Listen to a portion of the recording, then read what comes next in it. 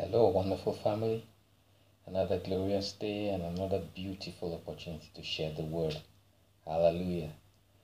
Today, I want us to study something, but we'll study backwards first. We'll start from the desired result, the plan, and then the process. I want us to, to go into the book of um, Matthew, chapter 14. We'll start from, uh, we'll read um, from verse 34 to 36. Then we'll come back and start from verse 22.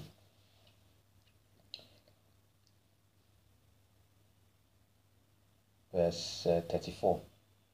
I'll be reading from the King James Version. And when the men of that place had knowledge of him, they sent out into all that country round about, and brought unto him all that were diseased, and besought him that they might only touch the hem of his garment, and as many as touched were made perfectly whole. So the reason for him being there, the goal, was for these folk to be made perfectly whole.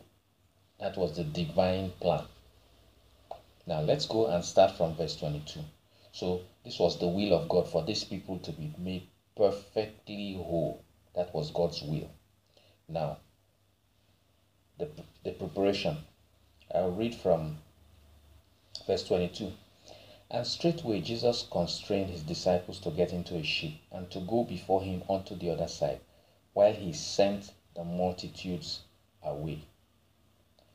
And when he had sent the multitudes away, see the preparation now, he went up into a mountain apart to pray. And when the evening was come, he was there alone. So he was praying in preparation for this will of God, where everybody who touched the hem of his garment was to be made perfectly whole. So, so to speak, he had prepared himself for to execute or carry out the will of God. So everything he was doing now was in the will of God. Now see in the process what transpired. That should give you some confidence and some some um, should put you in a situation where you do not lack courage, that you do not beat yourself about, that you should know that whilst you are in the plan and the purposes of God, because of the plan, usually the enemy has an inkling that something is amiss, that there's some malady that is about to come to his kingdom. And he tries to thwart it by creating situations and circumstances as obstacles, trying to dissuade you from carrying out your divine mandate or carrying out the will of God. You are in God's will, you are in God's plan, but he puts obstacles in the way. Now look at this. Remember, he had told the disciples to go across with the ship, and then he went to prepare for what he was going to do.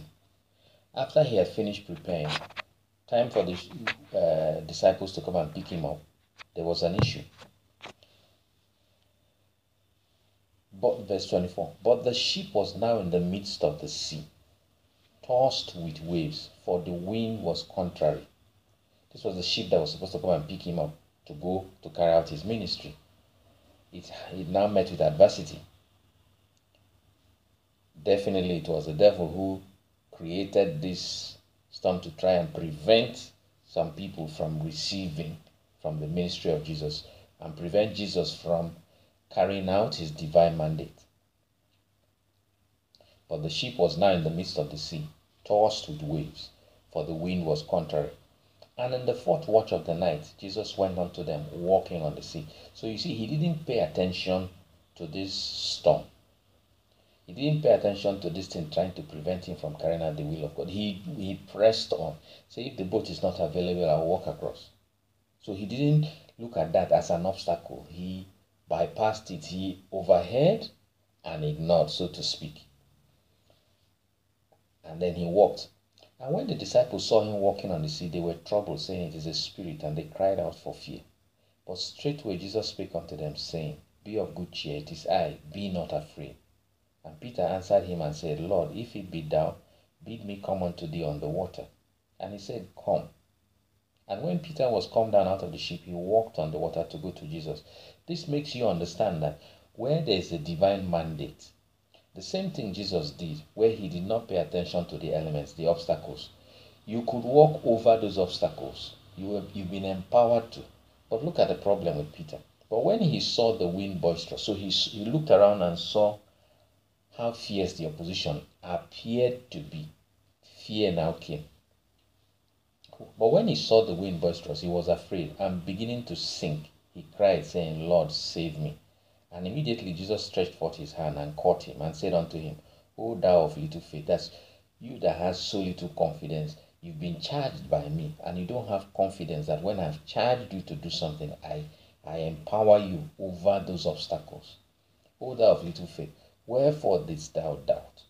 And when they were coming to the ship, the wind ceased. This tells you that the sole purpose of that wind being boisterous was to try and prevent Jesus from going across to carry out his mandate. But because he did not pay any attention to it, he died naturally. He pressed on as if he didn't exist. As soon as they got into the boat, the wind ceased. Then they that were in the ship came and worshipped him, saying, Of a truth, thou art the Son of God. And when they were gone over, they came into the land of Gennesaret. And then the plan of God was fulfilled as they brought these ones who were sick. They laid hands on his garments and they were made perfectly whole. Everyone. Say, as many as touched were made perfectly whole. So, like I said, I have taken you through the, the goal, the preparation, the process. And in between, in that process, between the, the preparation and the goal, the the end point, there was an obstacle to try and dissuade him from carrying out and fulfilling his mandate. But he didn't pay attention to that obstacle. He walked across and he, he showed us that like like like he showed with Peter, that you can as a man walk over those things. As long as you are empowered by Him with His word, if He says, Come, you come. And you should not be afraid. God bless you. Hallelujah.